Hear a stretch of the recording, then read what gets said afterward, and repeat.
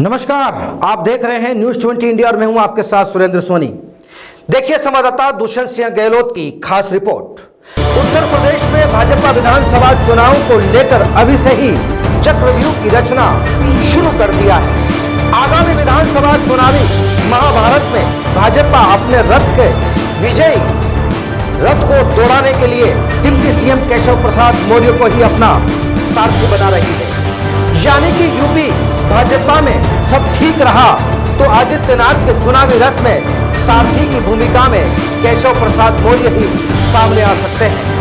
हालाँकि संयंस के बादल तब दूर होंगे जब केशव मौर्य मुख्यमंत्री आदित्यनाथ को चुनावी चेहरा बताएँगे।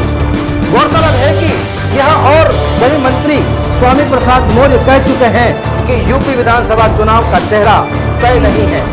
वही केंद्रीय नेतृत्व ही तय करेगा। यानी कि भाजपा के सहयोगी और छोटे दल के पिछड़े जाति के नेताओं ने भी अपनी हिस्सेदारी को लेकर दबाव बनाना शुरू कर दिया। भाजपा और संघ को पता है कि अगले और पिछड़ों के बीच के तालमेल से ही यूपी विधानसभा चुनाव में नैया पार हो सकती है। लिहाजा पार्टी पिछड़ी जाति के नेताओं को विधानसभा और विश्वास मत में लेने का प्रयास युद्ध स्तर पर कर रही है। मुख्यमंत्री योगी का डिप्टी सीएम केशव मौर्य के घर जाना, हाईकमान की यह कोशिश की एक सफलता का मील का पत्थर है।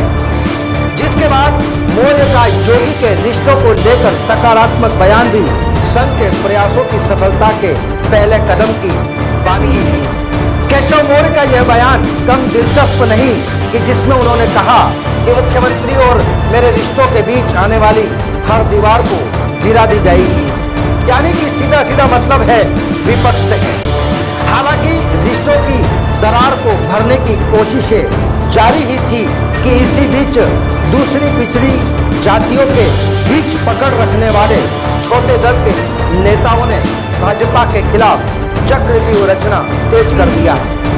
वहीं इसमें कुछ भाजपा संगठन के हैं तो कुछ बाहर के हैं, जबकि कुछ ऐसे भी नेता हैं कि पिछले विधानसभा चुनाव में साथ में थे, लेकिन अब रिश्ते तोड़ चुके हैं। लिहाजा भाजपा सब कुछ ठीक ठाक होने की तस्वीर पेश कर अपनी चुनावी नैया पार करने की जुगत में लग गई। लेकिन भाजपा को इस चक्रव्यूह रचना में कितनी सफलता मिलती है, यह देखना भी दिलचस्प होगा।